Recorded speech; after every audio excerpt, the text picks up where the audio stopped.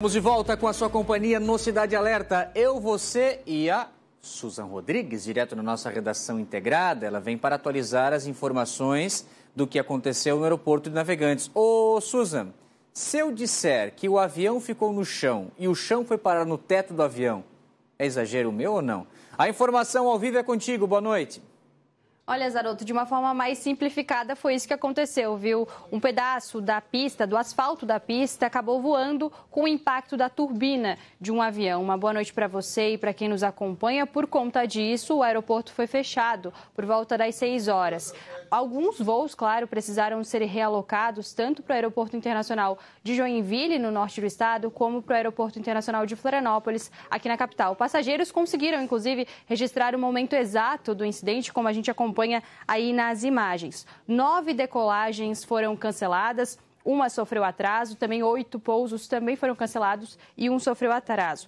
Nós conversamos com a empresa responsável pela administração, que já havia emitido uma nota na manhã de hoje, informando que uma área de 60 metros precisou ser isolada, inclusive o material foi levado para análise, mas, de acordo com uma análise da equipe técnica de engenharia, confirmaram que a outra parte da extensão da pista estava em condições, garantindo, então, a retomada das operações por volta das 11 horas da manhã. Durante a tarde, nós atualizamos essa situação. Eles informaram que a malha aérea está sendo ajustada. A previsão de término traba dos trabalhos é a noite de hoje, o fim da noite de hoje, e que isso mostra que a normalidade deve voltar nas próximas horas. Mas eles garantiram, viu, que as decolagens e os pousos já estão normalizados. Anoto.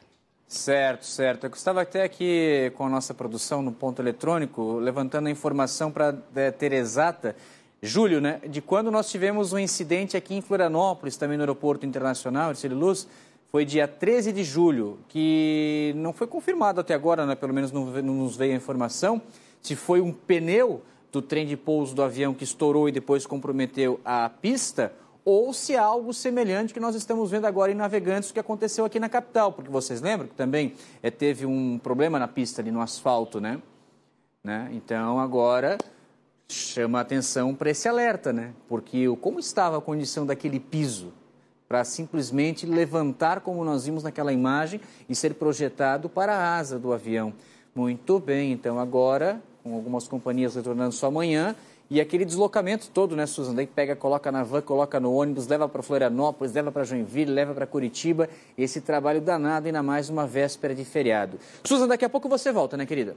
Muitos transtornos nessa nota. Inclusive, a gente teve essa experiência aqui na capital, agora em Navegantes. Muitos relatos durante a programação, a gente acompanhou as pessoas que estavam embarcando, tinham compromissos que precisaram ser cancelados. E, claro, agora a gente segue acompanhando a situação. Daqui a pouquinho eu estou de volta com mais informações aqui no Cidade Alerta. Obrigado, Susan. Vamos